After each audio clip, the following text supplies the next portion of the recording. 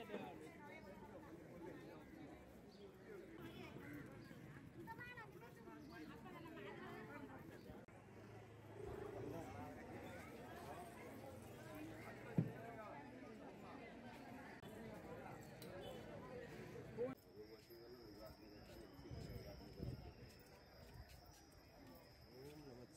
அந்த சாமி இருக்கும் கையால் தர்மம் நல்லதே நடக்கும்